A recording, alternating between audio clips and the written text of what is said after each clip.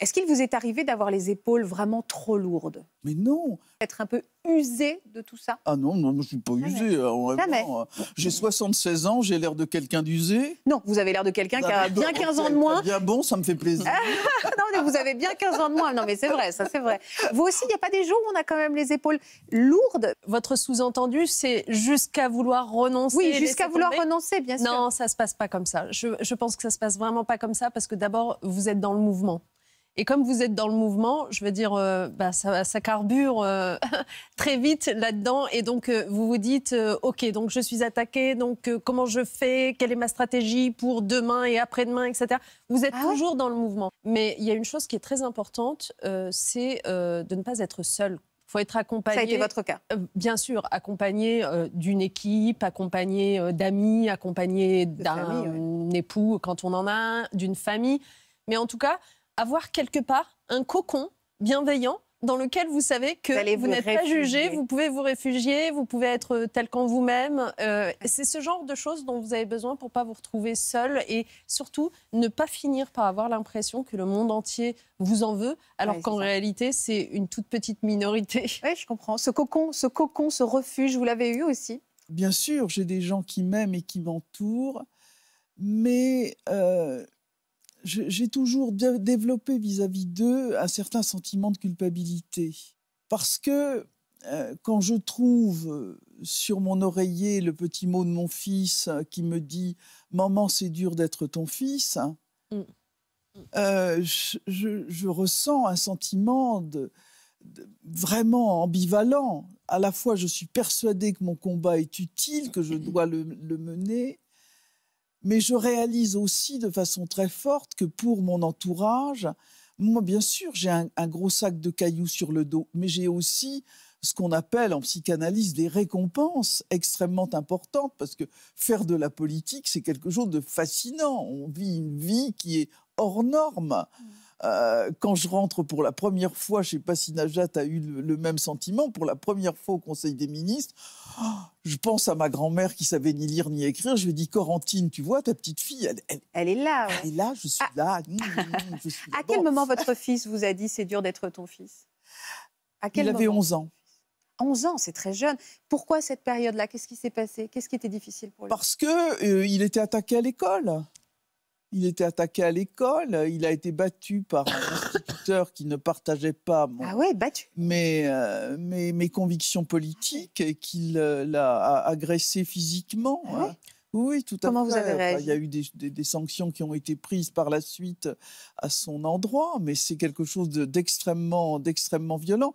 Alors, c'est-à-dire que nous, on a un sac de cailloux et des récompenses. Les proches n'ont que le sac de cailloux.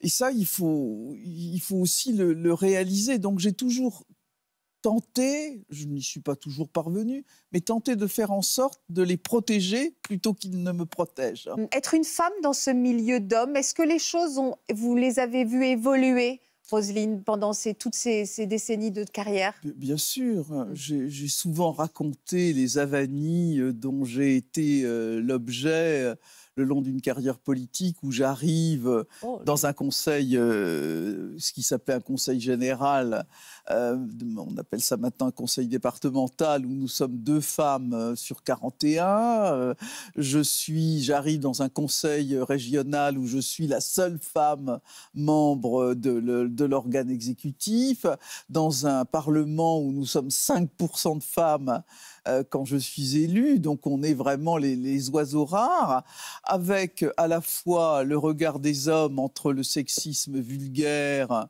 euh, horrible, qui m'accompagne lors de ma première montée à la tribune de l'Assemblée nationale où j'entends Tiens, voilà le concert des vagins.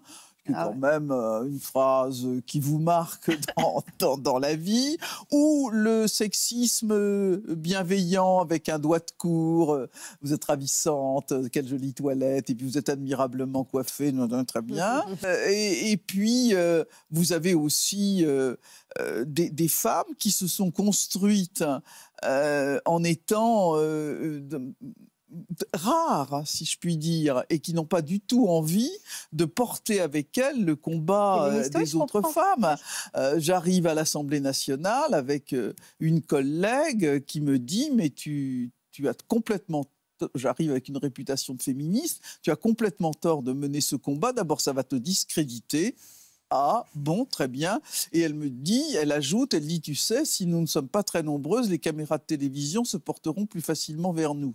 Ça apporte un nom, ça c'est euh, l'échelle qu'on fait tomber en fait. C'est, vous voyez, euh, on prend l'échelle, puis ensuite on la fait tomber derrière soi Mm. pour éviter que d'autres la prennent. Françoise Parturier disait les femmes qui franchissent des arcs de triomphe et qui ensuite claquent la porte derrière elles. Aussi, ouais. C'est pas mal. Une petite parenthèse un peu, un peu plus légère.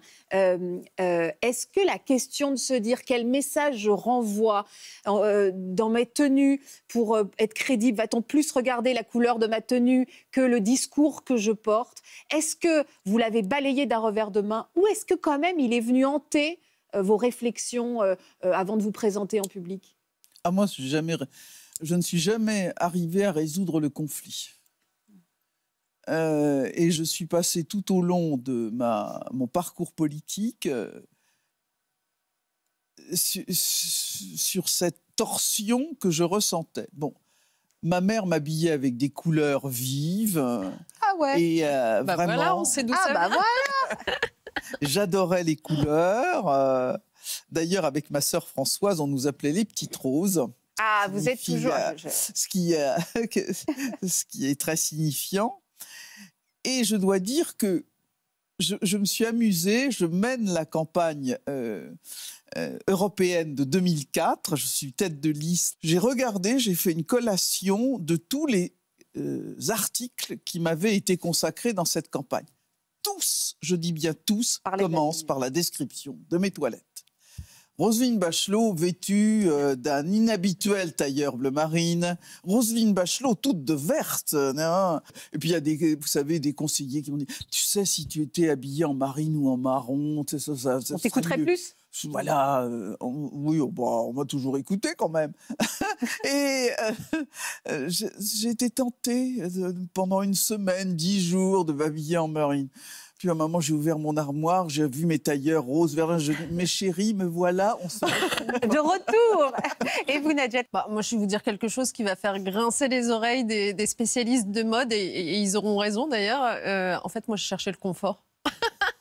Non, mais euh, c'est une très bonne... Vraiment, euh, je, je cherchais les choses euh, simples à porter, euh, simples à, à revêtir, euh, euh, comme la coupe d'ailleurs, comme les cheveux. Vous voyez, j'ai toujours été attirée par les choses euh, qui se font facilement le matin, rapidement.